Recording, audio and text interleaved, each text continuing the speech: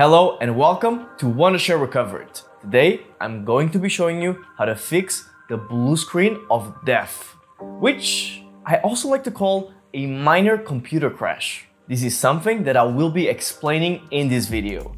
But before we begin, let's first hit that subscribe button, leave your comments and interact with us. Now, let's get into the video.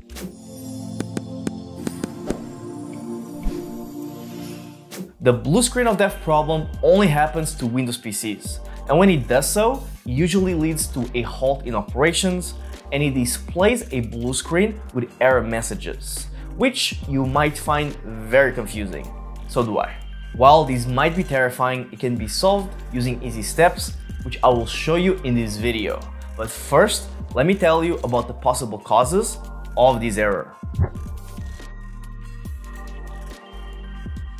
There are tons of reasons why you might be facing the blue screen of death.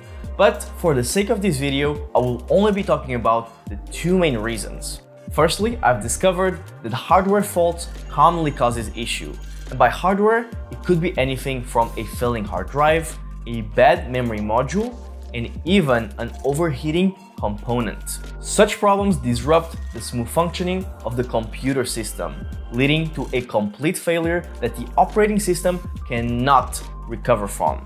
And when this happens, you'll be visited by a blue screen error. Secondly, this issue could be associated with hardware driver software, since the drivers of our computers act as intermediaries between the computer's hardware and its operating system. So what does this all mean? It means that if the driver is outdated, poorly written, or incompatible with the other system components, it can cause conflicts at low levels within the core of the operating system. Unlike regular applications, which usually don't have the permission to cause such severe crashes, drivers operate at a privileged level of access, which makes them capable of bringing the entire system down. Now that we know the major causes of the blue screen of death, we need to answer our main big question. How do we fix it? Well, let's see how. As I mentioned earlier, the blue screen of death is a Windows problem. But the good thing is that the Windows systems are not as stubborn as the other OS. So the steps that I'm about to show you will definitely work some magic. Method 1. Reboot in safe mode. We are first going to access the advanced startup options. So if your computer is on, hold the power button for 10 seconds to turn it off. Then turn it back on and as soon as anything appears on the screen, press and hold the power button again to turn it off. Repeat this process two to three times until you see the Windows recovery environment. Now we're gonna go to safe mode. So in the Windows recovery environment, go to troubleshoot, then advanced options, and then startup settings. You may need to click see more recovery options if you don't see startup settings initially. Then once in startup settings, click restart. Now we're gonna enter safe mode. So after your PC restarts, you'll see a list of options. So press the number responding to enable safe mode, which is usually F4 for safe mode, F5 for safe mode with networking, and F6 for safe mode with command prompt. Now let's diagnose and fix the issue. So once in safe mode, Windows runs with minimal drivers and services. You can now uninstall recent software or driver updates that might be causing the issue, run system scans to check for and fix corrupted system files by opening command prompt as an administrator and typing sfc slash scan now to scan your system for issues. You may also check for Windows updates that might include fixes for known issues and use the built-in Windows troubleshooting shooters to diagnose and fix problems. Now let's restart your computer normally. So after taking the necessary steps to diagnose and address the issue, restart your computer to exit safe mode. Press the start button, click the power icon and choose restart. But if you think the issue is beyond what a safe mode reboot can fix, you might want to try the next method.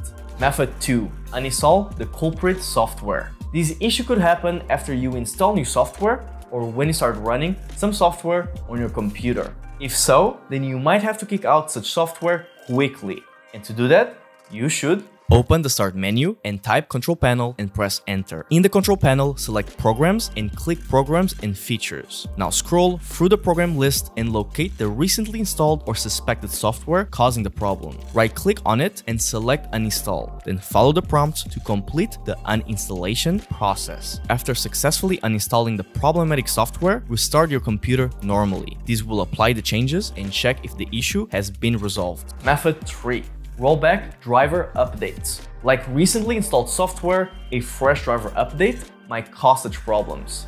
Windows drivers are designed to update themselves automatically, so you may need to check manually for any recent updates and reverse to the previous version. You can do that by looking into each driver's properties. It is time consuming, but trust me, very worth it. So here's how to review and roll back or disable drivers on Windows. Click on the Windows logo key on your keyboard and type Device Manager into the System Settings search bar. Click on the result and a list of all your hardware components will appear. So right click on Properties on each one to find which was updated recently. In the targeted driver's properties, click on the driver tab and select Rollback Driver. Sometimes the issue might be something that could be more complicated. So this next method might go a long way to fix the blue screen of death problem. Method 4 Turn off automatic restart. Disabling automatic restart can help you solve the blue screen of death issue by allowing you to read the error message before the system goes down. So here's how you can do it. Find this PC on your desktop or in File Explorer, right click and choose Properties. Then click Advanced System Settings on the left to open System Properties. Go to the Advanced tab in the System Properties window, then click Settings under Startup and Recovery. In the Startup and Recovery window under System Failure, uncheck the box next to Automatically Restart. Then click OK to apply the changes, then OK again to close System Properties. Recoverit allows you to retrieve important files safely and effectively fully. And the best part is, it is super easy to use. All you need to do is Start by downloading and installing Recoverit on another working computer to create a bootable media drive for recovery. Then open the program to view all its recovery options and select System Crashed Computer from the main menu to focus on recovering data from a computer that experienced the issue. Then follow the prompts to create a new bootable media drive and note that this will format the selected drive, so ensure you've backed up its data beforehand. With the bootable media created, restart the blue screen of the affected computer and enter its BIOS settings to configure it to boot from the USB or CD slash DVD drive where the bootable media is stored. Once the computer boots from the bootable media, Recoverit will start the data recovery process from the crashed system automatically. So ensure not to eject the bootable media during this process. It is as simple as that. So do not forget to leave a like on this video and subscribe to our channel. Also, please share your thoughts in the comments below and tell me if you think other methods would also solve the problem that I might have skipped. Thank you so much for watching this video and I hope to see you in our next one.